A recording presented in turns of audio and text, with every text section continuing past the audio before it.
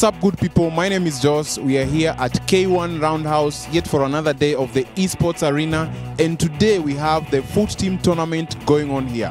With me is one of the participants who's gonna tell us exactly what's going on inside the roundhouse. Okay, my name is Tevin.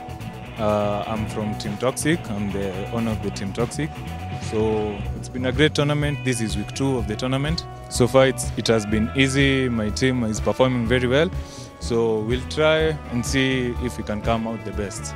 Yeah, we're here just to celebrate esports. Uh, we're having a FUT tournament, first of its kind in Kenya. We're trying to encourage uh, guys to form esports teams in Kenya uh, so that they can come and match up for bragging rights and improve their games. For those who don't know what a FUT tournament is, what's a FUT tournament? It's a FIFA Ultimate Team. It's a mode of uh, FIFA which you build your ultimate team, a combination of legends, uh, current players, all, sorts of players mixed up. So it's the best and highest version of FIFA we have in the planet. Uh, we are doing sort of uh, qualifiers now, and uh, we are looking to host a major tournament in the next uh, around in September, depending on their dates. Unafilaje uh, kuhusu events kama hizi zina bring wase wa esports uh, pamoja? Unafilaje what what's your feedback or what's your comment about such events? Actually, it's very good kwa sababu Kenya hatuna hii exposement ya yenye vile watu wazungu wako exposed huko nje. So it's a, it is a very good thing and we want more from this. So we expect, or rather, you should expect to be entertained.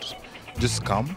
Uh, if you like enjoy watching football, if you like, uh, you know, you know, it's a off season, the Premier League and stuff. But you can come just watch guys show off their skill. Lastly, Gift, uh, tell us about the setup. How is the setup? Like, what sort of setup is uh, inside in the roundhouse? Yeah, we have different stations where we are encouraging peer-to-peer sort of uh, tournaments where you play next to your opponent. This helps uh, people to interact. Well, the setup at K1 is perfect. We are all in one room.